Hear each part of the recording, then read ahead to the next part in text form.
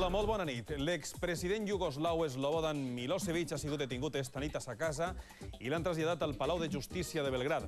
Encara que hi ha molta confusió respecte a esta detenció, el govern serbi ha confirmat que ara es troba davall d'arrest domiciliari. Esta vesprada, centenars de persones s'han reunit a les portes de la residència de Milosevic davant de l'expectació que ha generat la possibilitat d'esta detenció. El Tribunal Penal Internacional per a l'antiga Iugoslàvia l'acusa de crims de guerra i havia exigit ja la seva extradició. Els Estats Units havien amenaçat el govern iugoslau de retirar-li ajudes econòmiques si no col·laborava amb el Tribunal Internacional. A més, la Fiscalia, la policia i la Hisenda sèrbies investiguen l'expresident per abusos de poder. I les autoritats volen jutjar-lo a Belgrad abans d'entregar-lo al Tribunal de la Haia. Amb aquesta informació, que és naturalment portada dels informatius de pràcticament tot el món, obrirem esta tercera edició del Notícies Nou. I estes que ara els diem som la resta d'informacions rellevants d'esta jornada. ETA volia atentar amb un cotxe bomba contra el president de la Junta de Galícia, Manuel Fraga. La banda terrorista ha amenaçat, a més, amb una campanya de violència a les zones turístiques. El govern i el sindicat Comissions Obreres han arribat a un preacord sobre el sistema de pensions a Espanya. La patronal, COE i el sindicat UGT encara no s'han pronunciat sobre este document. Els palestins han viscut un nou dia de l'aire a ciutats com Ramallah, Hebron, Gaza i Jerusalem. El balanç de, la violència, sis morts, cinc d'ells a la ciutat de Nablus. L'entrenador del València, Héctor Cooper, ha tornat a negar que tinga un preacord per entrenar la temporada vinent el Futbol Club Barcelona. En el pla esportiu, el València jugarà avui contra l'Espanyol, bèstia negra de l'equip de Mestalla en les últimes temporades.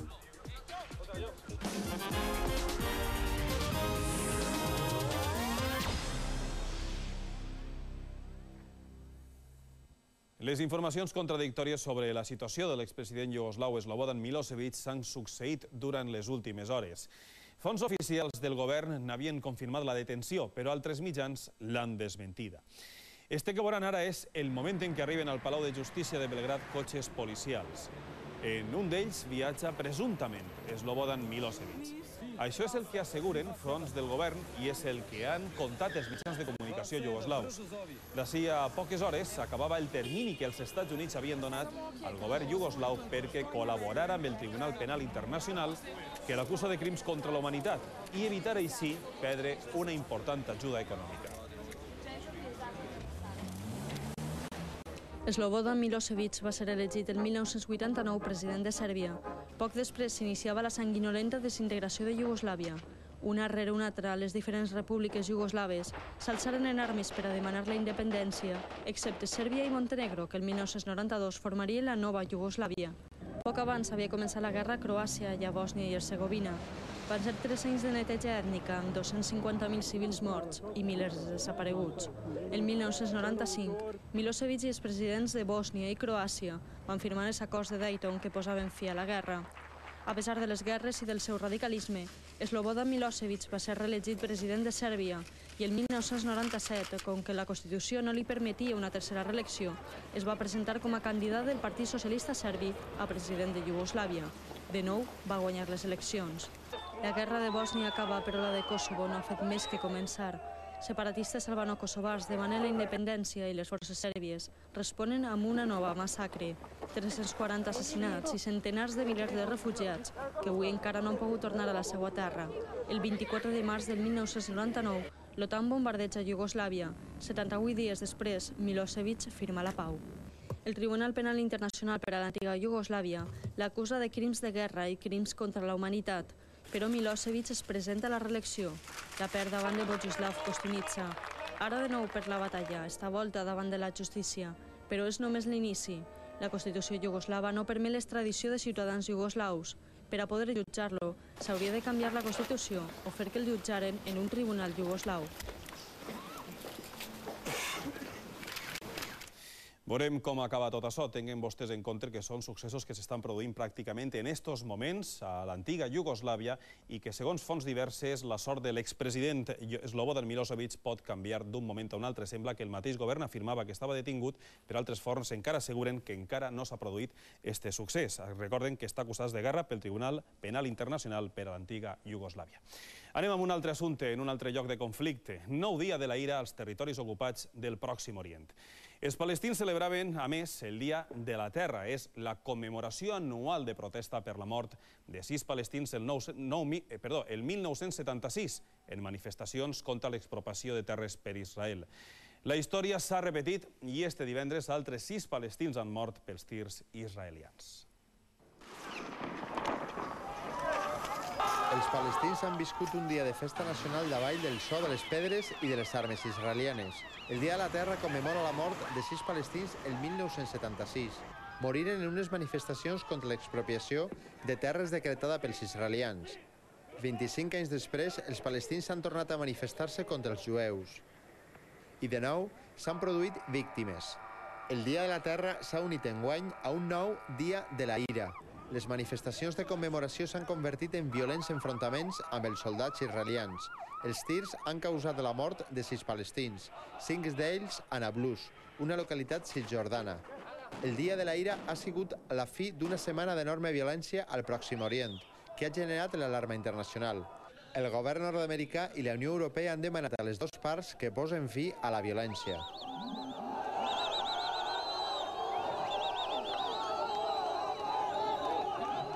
Una violència que tinguin en compte tots vostès que ja dura sis mesos, que és el temps que dura esta última intifada palestina. Anem a un altre assumpte més proper a tots nosaltres. ETA volia atentar contra el president de la Junta de Galícia, Manuel Fraga, i dos consellers més del seu govern amb un cotxe bomba. També volia reconstruir un comando estable a Galícia. És almenys el que ha contat la terrorista Alicia Saez de la Cuesta a la Guàrdia Civil. Altres dos presumptes etarres detinguts dilluns passats s'han confessat autores de l'assassinat del mosso d'esquadra Santo Santa Maria a Roses, Girona. Este divendres les policies francesa i espanyola han detingut dos persones més. Un dels principals objectius d'Alicia Saez de la Cuesta, la terrorista detinguda el passat dilluns a Santiago de Compostela, era assassinar Manuel Fraga i dos consellers del seu govern. També tenia ordres de preparar l'establiment d'un comando. Així ho ha reconegut a la Guàrdia Civil. També els ha dit que havia arribat a dinar al restaurant on sol acudir Fraga per a preparar el crim amb detall. Esta terrorista formava part del comando Sugoi, igual que Eider Pérez, detinguda dilluns passat al País Basc junt amb Aitor Olaizola. Este és el moment de la captura d'Olaizola, que este divendres ha declarat a l'Audiència Nacional. Allí ha contat detalls sobre el funcionament del comando. Ell i Eider Pérez s'han confessat autors de la col·locació de la bomba que va matar el mosso d'esquadra Santo Santa Maria a Roses. Els dos van participar també, segons ha confessat Olaizola, en el transport del cotxe bomba interceptat per la policia a Benavarri, a la província d'Osca. Volien introduir-lo en un ferri al port de València i fer-lo explotar. La confessió d'Aitor demostra que el comando Sugoi tenia caràcter itinerant i que s'ha mogut per distintes zones d'Espanya. Però no acaba així la informació relacionada amb el terrorisme, perquè este divendres han detingut a Hernani la portaveu de Gestores Pro Amnistia Iratze Sorzabaldíez i a Biarritz, al sud de França, Maria Arrate Uresti, de 49 anys. Les dos per presumpta relació amb ETA. A nit ja els ho vam avançar.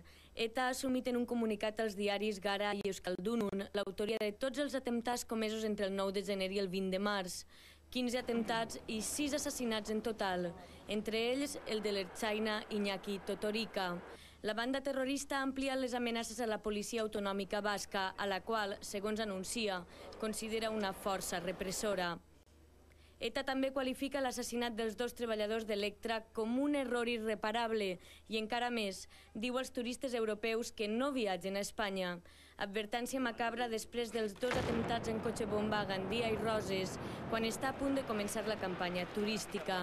Per al ministre de l'Interior, este comunicat és un cant a l'assassinat i assegura que Espanya és un país segur. Ese comunicado pues, es un canto al asesinato.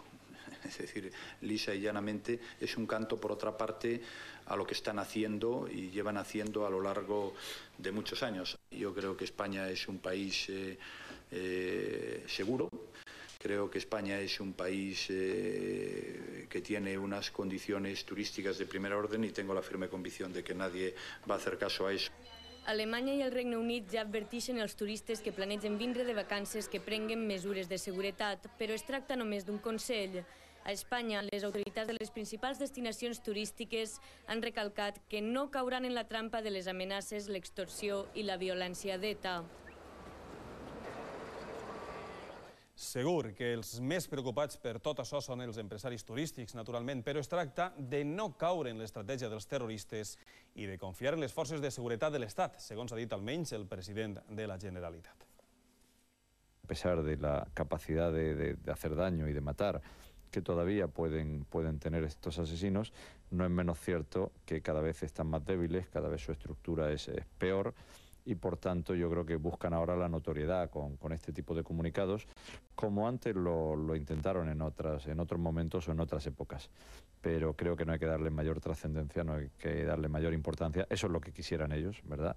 Que sus comunicados eh, sirvieran para algo, sirvieran para dañar a los trabajadores y a los empresarios y, por tanto, al progreso económico de las zonas turísticas y del conjunto de España.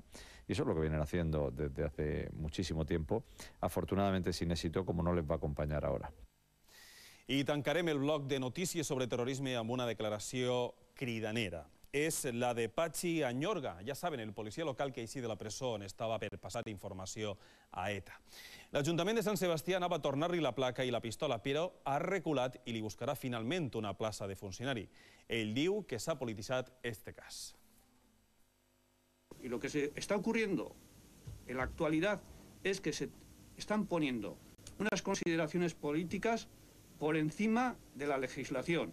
Y como bien se ha dicho en el escrito, se quiere supeditar el Poder Judicial a los criterios políticos determinados de un partido político determinado.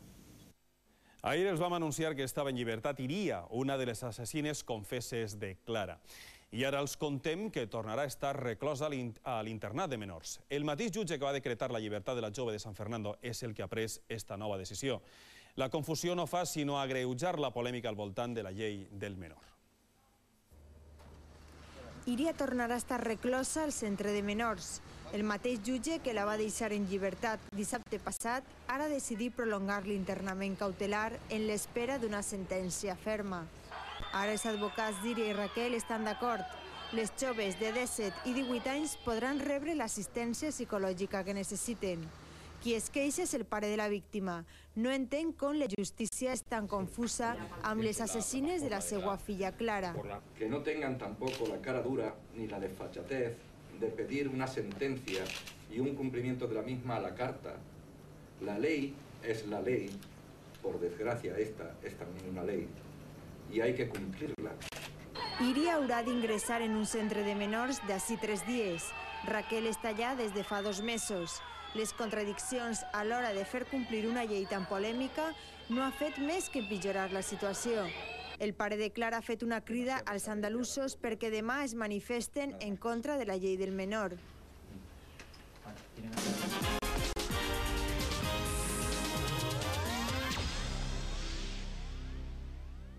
El Ministeri de Treball i el sindicat Comissions Obreres han arribat a un preacord sobre pensions.